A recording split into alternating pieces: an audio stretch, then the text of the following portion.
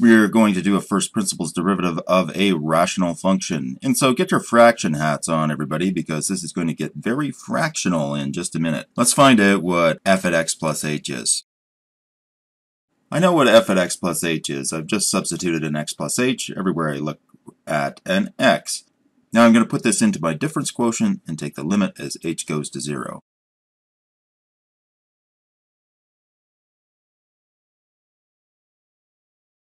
Top of this expression, all I'm really doing is subtracting fractions. So I need to take these expressions to a common denominator.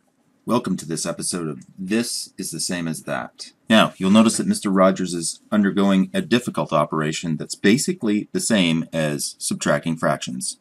Now, normally what we do is we try and find a common denominator, and so I would multiply 1 half by 3 over 3, and then I would multiply 1 third by 2 over 2, and it becomes the same thing as 3 over 6 minus 2 over 6, which is 1 sixth. And that's, this is the same as that. When I expand these terms, I'll have a nice common denominator, and then I'm going to take this top fraction that's in the numerator of the overall expression and simplify it.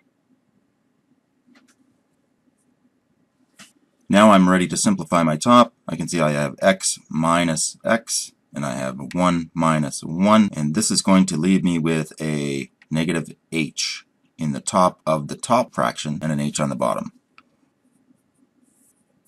Now, this is the same this is the same thing as dividing fractions, and so I'm going to invert and multiply these two fractions. Now watch carefully as Mr. Rodgers performs the dangerous and tricky operation of dividing a fraction by a whole number which is really like dividing a fraction by a fraction like that. Okay, so remember, invert and multiply 1 third times 1 over 4, which is equal to 1 12. h divided by h is just the same thing as negative 1. Now I'm ready to apply my limit here